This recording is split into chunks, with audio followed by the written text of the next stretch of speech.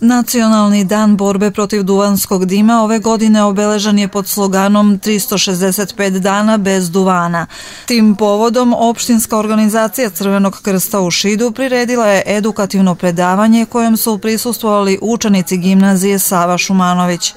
O štetnosti aktivnog i pasivnog konzumiranja cigareta i bolestima koje donosi navika ovisnosti govorili su volonteri i sekretar Crvenog krsta, magistar Dalibor Farbaš. 31. januar je nacionalni dan bez duvanskog dima i obeležava se u celoj Srbiji, tako se i Crveni krst e, e, Šid priključio toj akciji u saradnju sa učenicima i volonterima našeg grada. Učenici su iz gimnazije E, naše gradske, a i ovim putem se zahvaljujem što su se odazvali, a naravno da je e, značaj e, bez duvanskog dima velik.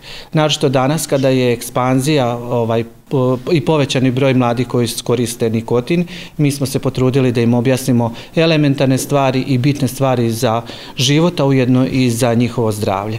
Tako da svi znamo da nikotin nikom nije dobro doneo, nikom ništa nije dobro došlo od toga, jedino imaju posljedice, a mi se trudimo kao organizacija da pomognemo u toj jednoj velikoj borbi, odnosno velikom muci i svi koji uđu nikotin znamo da nije lako izaći, a mi ćemo evo, jedan doprinos da stopiramo to.